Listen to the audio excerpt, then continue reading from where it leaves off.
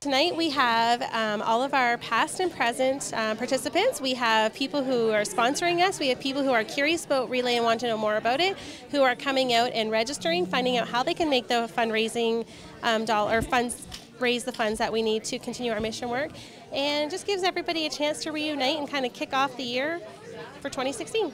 Relay for Life this year is a Chatham Kent event that'll be happening at Chatham Kent Athletic Complex at CKSS School on Saturday, June 11th from 6 to midnight. I'm just inviting every single person in Chatham Kent to come out and register and participate in Relay for Life this year.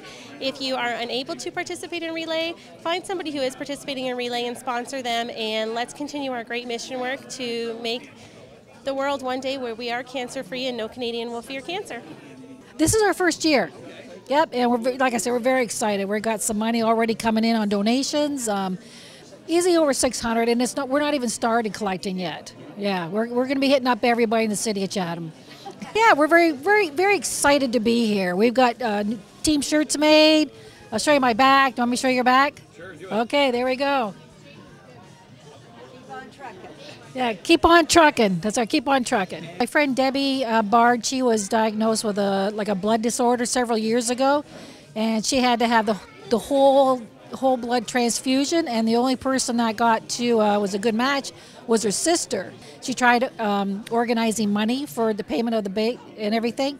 Um, her nephews uh, all came in and babysat her younger kids. Uh, the whole family chipped in, and she's still around today. Yeah, she is amazing. She's an amazing person. I think that cancer has hit, I would think, at least somebody in the family of everybody who lives in Chatham. I'm, I'm sure they've touched on it. A friend, a family member, um, even their animals and pets. Like it goes right down. Like I don't think the cancer side really takes in the pets, but I'm sure that you felt the same terror and and not knowing what's going to happen next. So. Relay for Life is something you have to experience. And once you've experienced it, it's life altering. It's fun, it's emotional, it's entertaining. We're honoring survivors. We're paying tribute to those who have lost their battle with it. We are fighting back against a disease that takes too many of those we love.